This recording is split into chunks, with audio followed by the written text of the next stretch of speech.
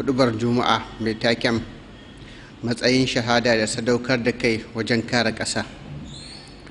Godiya ta tabbata ga allah ubangijin talikai wanda a cikin littafinsa mai girma yake cewa wala taqulu liman yuqtalu fi sabilillahi amwat bal ahya'un walakin la tash'urun.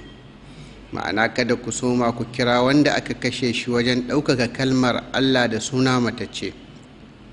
A rayayyu ne ku ne dai ba ku sani ba.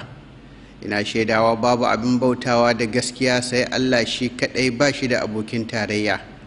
Cikakken mabuwayi mai hikima. Ina shaida cewa lallai shugabanmu kuma annabinmu muhammad bawan allah ne kuma manzansa.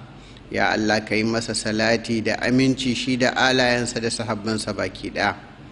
Bayan haka lalle a 'yan kwanakin nan ne al'umman ƙasar misra suke gabatar da bikin tunawa da ɗaya daga cikin ranaku masu girma da daraja a tarihinsu. Ranaku ne daga cikin ranakun allah maɗaukakin sarki da allah ubangijinmu ya yi wa misra baiwa da nasarar ƙwato ƙasarta da karamarta a lokaci ɗaya. Lallai waɗannan ranaku su ne ranakun tunawa da nasarorin shida ga watan oktoba na shekara ta 1973 ranar da ta yi daidai da ranar goma ga watan ramadan shekara ta 1393 bayan hijiran annabi sallallahu alaihi wasallam. Wannan gagarumin nasara da na ƙasar misra ta samu bayan nuna bajinta da gwarzanta da sadaukar da kai inda nagartattun ɗabi'u na aƙidar imani da Allah maɗaukakin sarki da gasgata kai da kuma yarda da kai da ƙarfin niyya da himma wajen isa zuwa ga manufofi waɗanda sojojin ƙasar misra suka bayyana shi a fili duniya ta shaida a duk sanda manufofi suka zama masu girma da daraja da nagarta to kuwa haka ake samun sadaukar da kai shi ma ya zamo babba kuma mai daraja. babu abin da ya kai sadaukar da kai da rayuwa saboda neman shahada wajen ɗaukaka kalmar allah maɗaukakin sarki. Babu abin da ya kai haka daraja. Inda mutum zai bayar da rayuwarsa saboda ya baiwa addininsa da ƙasarsa da mutuncinsa kariya yana mai kare iyakokin ƙasarsa saboda ya sami ƙololuwan muƙami wanda shine muƙamin shahada. Lallai muƙamin shahada kyauta ce daga allah ubangijin talikai baiwa ce daga mahalicci mai girma da ɗaukaka. Da Allah yake bayarwa ga wanda ya so a cikin bayansa. Wannan matsayi ne yake bayan matsayin annabta da na siddiƙai. Allah maɗaukakin sarki yana cewa wa mai yuti Allah wa rasula fa ula'ika ma'al ladina an'ama Allah alaihim minan nabi'ina was siddiqina was shuhada'i was salihin wa hasuna ula'ika rafiqa. Ma'ana duk wanda ya yi wa Allah da manzansa biyayya to lalle waɗannan su ne suke tare da waɗanda Allah ya yi musu ni'imomi cikin annabawa da siddiƙai da shahidai da mutanen kirki. Lalle zama da waɗannan kam abu ne da yake da kyau matuƙa. Allah maɗaukakin sarki ya zaɓi mutum saboda ya zamo shahidi.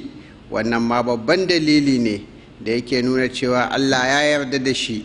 Wane daraja ne kuwa cikin darajoji ya kai wannan darajan? Alkur'ani mai girma ya yi nuni zuwa ga haka yayin da allah maɗaukakin sarki yake cewa wa yattakhidha minkum shuhada ma'ana ya kuma zaɓi shahidai daga cikinku. Shi shahidi ya sadaukar da rayuwarsa ne saboda neman yarda allah ubangijinsa da baiwa ƙasarsa kariya ya kuma fifita lahira akan duniya ya kuma yi nasara da galaba akan sha'awarsa da abubuwan da yake kwaɗayi. Yana ya faɗa filin daga saboda ya fanso addini da ƙasarsa. Muna ta shahidai murna da jin daɗin samun wannan babban matsayi mai albarka. Lallai kasuwancin nasu ya yi riba. Allah maɗaukakin sarki yana cewa inna allaha ashtara min almu'minina anfusahum wa amwalahum bi anna lahumul janna.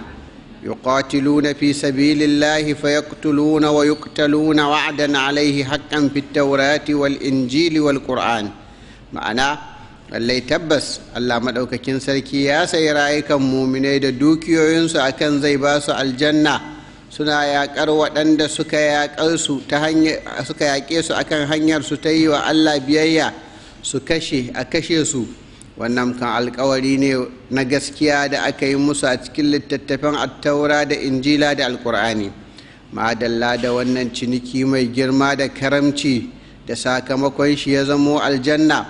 Ya zo a hadisi cewa ummu rabe yar albarra wato ummu harisa ta bin suraka ta zo gurin annabi sallallahu alaihi wasallam sai ta ce ya annabin allah baka bani labarin halin da harisa yake ciki ba.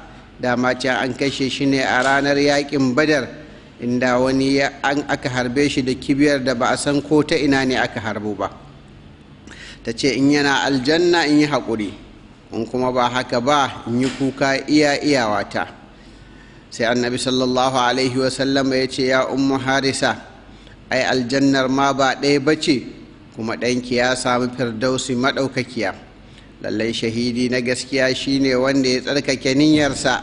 Ya kuma sadaukar da rayuwarsa saboda allah ya miƙa ransa wajen ɗaukaka kalmar allah da baiwa ƙasarsa kariya da daga tuta da darajan ƙasar. A ruwaito hadisi daga abu musa ashari allah ya ƙara yarda da shi ya ce wani mutum ya zo wurin annabi sallallahu alaihi wasallam sai ya ce mutum ne yake yaƙi domin neman ganima da mutumin da yake yaƙi saboda a faɗi da mutumin da yake yaƙi domin bayyana matsayinsa ga mutane wanne ne a cikinsu yake yi fi sabilillah? Sai annabi sallallahu alaihi wasallama ya ce wanda ya yi yaƙi saboda ɗaukaka kalmar allah shine wannan wanda yake yi fi sabilillah. Haka ma shahidi na gaskiya shine mutumin da baya karɓar kowane irin ƙasƙanci baya yarda da wulaƙanci da tozarta yana kuma ɗaukan matakin mayar da martani ga duk wanda ya yi yunƙurin yi masa ta'adi a dukiyarsa ko kayansa. A ruwaito hadisi daga abu huraira allah ya ƙara yarda da shi ya ce wani mutum ya zo wurin annabi sallallahu alaihi wasallama sai ya ce ya manzan allah ya kake gani idan wani mutum ya zo yana son ya ƙwace mini dukiyata sai ya ce kada ka ba shi dukiyarka sai ya ce idan ya yaƙe ni fa sai ya ce kai ma ka yaƙe shi sai ya ce to idan ya kashe ni fa? Ya ce ka zama shahidi. Ya ce to idan ni ne na kashe shi fa? Ya ce kuma zai shiga wuta.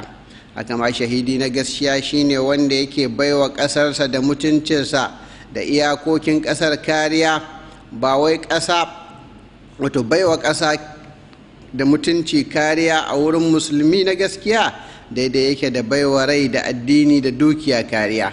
Saboda shi kansa addini yana buƙatan ƙasar da za ta rungume shi ta kuma ba shi kariya. A ruwaito hadisi daga sa'id ibn zaid allah ya ƙara yarda da shi ya ce manzon allah sallallahu alaihi wasallama ya ce duk wanda aka kashe shi wajen kare dukiyarsa shahidi ne wanda aka kashe shi wajen kare iyalansa ko wajen kare ransa ko wajen kare addininsa to lallai shahidi ne. Ta nan ne ma'anar shahada ta haɗe da sadaukar da kai wajen ɗaukaka kalmar Allah.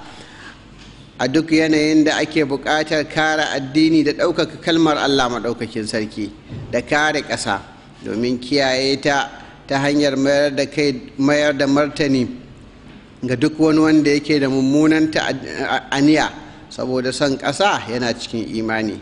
Kai madalla da shahidan da suka keta shingen maƙiya inda hakan ya dawomar da sunansu a cikin tarihi. Mutanen da suka ƙosar da ƙasar misir da tsarkakan jinanansu ruhinsu kuma suka tafi wurin allah maɗaukakin sarki suka rabauta da yardansa da ni'imomin da allah mai girma da ɗaukaka ya yi musu alkawari. Muna roƙon allah ya sanya mu cikin shahidai. Lallai shahada a hanyar yi wa allah maɗaukakin sarki biyayya tana da amfani masu yawa da girma. A cikin amfaninta akwai labarin da allah maɗaukakin sarki ya bayar a cikin littafinsa na cewa lallai shahidai rayayyu ne a wurin ubangijinsu da yake azurta su a koda yaushe allah maɗaukakin sarki yana cewa wala tahsabanna alladhina qutilu fi sabilillahi amwata bal ahya'un 'inda rabbihim yurzaqun فرحين بما آتاهم الله من فضله ويستبشرون بالذين لم يلحقوا بهم من خلفهم ألا خوف عليهم ولا هم يحزنون. يستبشرون بنعمة من الله وفضل وأن الله لا يضيع أجر المؤمنين. معناه kada ku taɓa zaton cewa waɗanda aka kashe akan hanyar allah matattu ne a'a a raye suke rayuwar da allah ya bar wa kansa sani suna nan wurin ubangijinsu ana azurta su da arziki mai faranta rai da allah ne kawai ya sani. Farin ciki da murna sun lullube fuskokinsu sakamakon abin da allah ya ba su na wasu abubuwa da aka keɓance su da shi saboda falala saboda falalarsa. Suna kuma farin ciki da murna da 'yan uwansu da suka bari a baya a raya a duniya suna tsaye akan hanyar imani da jihadi da cewa lallai babu wani tsoro babu wani tsoron wani abin ƙi da zai same su ba kuma sa baƙin ciki saboda wani abu da suke so ya kubuce musu. Fuskokin shahidai suna walƙiya saboda baiwar da allah maɗaukakin sarki ya yi musu na ni'imar shahada da ni'imar aljanna da babban karramawar da aka yi musu. Lallai shi allah baya tozartar da ladan muminai. Haka ne lallai rayayyu ne su ba matattu ba. Lallai ana azurta su kuma a wannan arziki nasu yana zuwa ne daga allah maɗaukakin sarki. Lallai suna farin ciki da murna da abubuwan da allah ya ba su. Suna can a aljannar dawwama inda a cikinta akwai abubuwan da idanuwa ba su taɓa gani ba kunnuwa ba su taɓa ji ba hasali ma ba su taɓa ɗarsuwa a cikin zuciyar wani mutum ba. Suna kuma yi wa 'yan uwansu da za su zo bayan su albishir da cewa babu baƙin ciki babu damuwa. Duk abubuwan da ke cikin aljanna falala ne da kuma ni'ima. An karɓo hadisi daga sayyidina jabir ibn abdullahi allah ya ƙara yarda da su ya ce manzan allah sallallahu alaihi wasallama ya haɗu da ni sai ya ce ya jabir ya na ga jikinka ya yi sanyi sai na ce ya manzan allah mahaifina ne ya yi shahada ya kuma bar ƙananan yara ga bashi a kansa sai ce shin bana baka bana yi maka albishir da abin da mahaifinka ya je ya taras ba? Sai na ce na'am ya manzan allah a yi mini albishir. Sai ce allah bai taɓa yin magana da kowa ba sai ta bayan hijabi amma mahaifinka raya shi allah ya yi kuma magana da shi ba tare da hijabi ba. Ma'ana shi da shi ba tare da shamaki ko ta hanyar ɗan saƙo ba. Sai ce masa ya bawa na yi burin abin da kake so. Ni kuwa zan baka. Sai ya ce ya ubangiji ina roƙonka sake raya ni a kashe ni saboda kai a karo na biyu.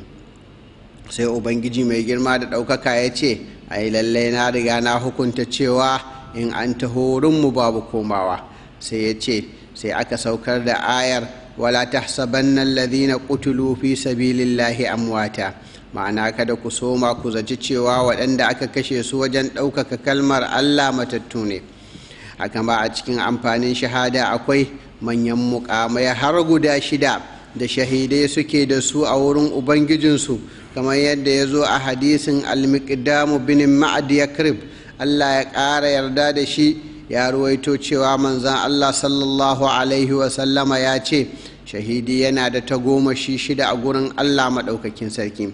A daidai lokacin da ɗigon jininsa ya ɗiga ana gafarta masa zunubansa za kuma a nuna masa mazauninsa a aljanna za kuma a tseratar da shi ga barin azabar wuta.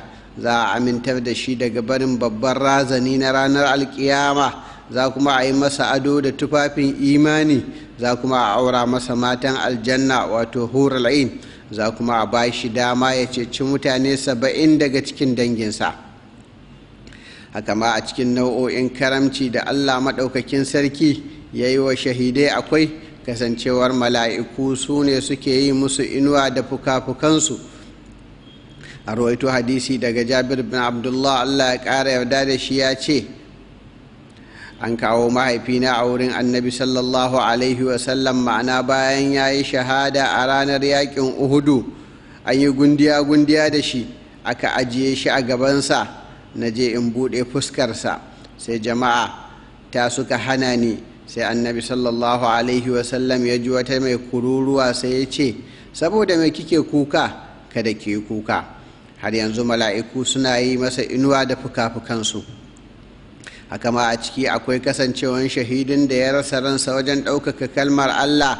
Zai shiga aljanna ne tare da tawagar farko da za su shige ta ba tare da hisabi ko azaba ba. A ruwaito hadisi daga sayyidina abdullahi ibn amr ibn al-as allah ya ƙara yarda da shi ya ce na ji manzan allah sallallahu alaihi wasallama yana cewa lalle allah maɗaukakin sarki zai kira aljanna a ranar alkiyama sai ta zo da kayan ado gami da ƙawa sai ya ce ina bayina da suka yi yaƙi domin ɗaukaka kalmata aka kuma kashe su akan hanyar su ta ɗaukaka kalmata aka kuma cutar da su akan hanyar su ta ɗaukaka kalmata. Suka yi jihadi saboda ɗaukaka kalmata. To ku shiga aljanna.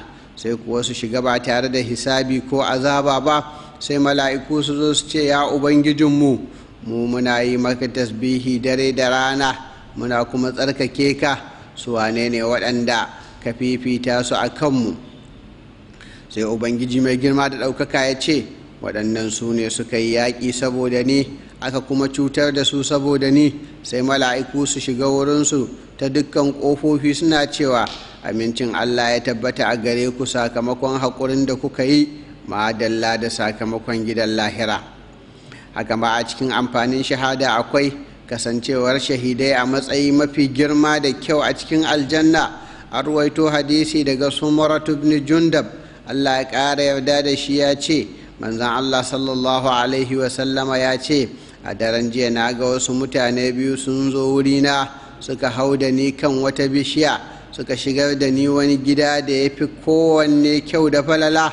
Ban taɓa ganin wanda ya fi shi kyau ba. Sai suka ce mini wannan kuma gidan shahidai ne. Saboda waɗannan abubuwa ne ya zama na shahidi ne kawai yake burin ya sake dawowa duniya. A sake kashe shi saboda allah kamar yadda ya zo a hadisin da sayyidina anas allah ya ƙara yarda da shi ya kawo. Annabi sallallahu alaihi wasallama ya ce babu mutumin da zai shiga aljanna ya kuma zama na yana son ya dawo duniya ya zama yana da duk wani abin da yake a doron ƙasa sai shahidi. Shine kawai yake burin ya dawo duniya a sake kashe shi har sau goma sakamakon abin da ya gani na karamci. A wata ruwayar kuma saboda abin da ya gani na falalar shahada. Wannan kenan ina nema wa kaina gafara da ku daga wurin allah maɗaukakin sarki. Godiya ta tabbata ga allah ubangijin talikai. Ina shaidawa babu abin bautawa da gaskiya sai allah shi kaɗai ba shi da abokin tarayya. Ina shaida cewa lallai shugabanmu annabinmu muhammad bawan allah ne kuma manzansa. Ya allah ka yi masa salati da salami shi da alayensa da sahabbansa baki ɗaya. Ya 'yan uwana musulmai lallai isa zuwa ga manyan manufofi da samun manyan matsayi a cikin wannan rayuwar suna buƙatar manyan sadaukar da kai saboda haka. Lallai babu shakka girman manufofi da darajarsu suna nuni zuwa ga girman sadaukar da kai da girman darajar haka. Wannan ne kuma halin da duk wanda ya sadaukar da rayuwarsa saboda addininsa da ƙasarsa suke kasancewa. Lallai abin da ya wajaba a kanmu game da ƙasarmu mai daraja da addininmu nagartacce shine mu haɗa ƙarfi da ƙarfe baki ɗaya wajen kiyaye tsaron ƙasarmu da kuma ba ta kariya daga dukkan wani azzalimi ɗan ta'adda ko wata barazana da take nuna mata yatsa.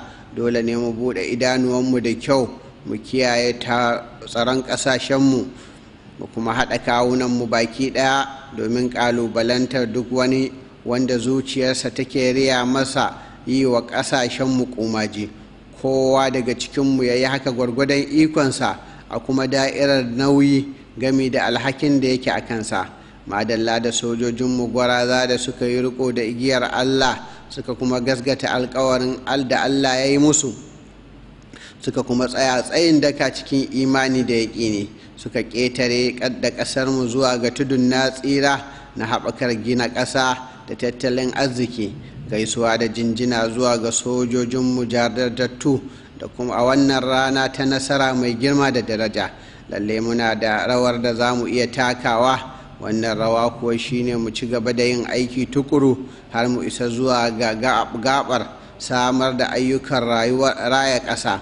Da na jin daɗin al'umma mu yi aiki wajen samar da abubuwan da muke buƙata da kawunanmu domin mu tabbatarwa ɗaukacin duniya cewa tabbas 'ya'ya da jikokin waɗanda suka ƙetare katangar berlin suka kuma ƙetare wutar da aka kunna a irin wannan rana a shirye suke su yi duk abin da ya kamata wajen samar da tsaro da aminci da manyan ayyuka na raya ƙasa da jin daɗin al'umma da izinin allah maɗaukakin sarki. A shirye suke wajen su tsaya a sahu ɗaya a bayan shugabanninmu na siyasa masu hikima da gwarazan sojojinmu da 'yan sandanmu masu kishin ƙasa da sauran ma'aikatan gwamnatinmu.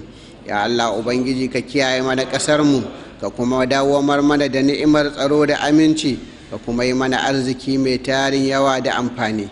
Ya allah ubangiji muna roƙonka ka yi lalati da aminci da tsira ga shugabanmu annabi muhammad da alayensa da sahabbansa da duk waɗanda suka bi shi da kyautatawa har ya zuwa ranar sakamako.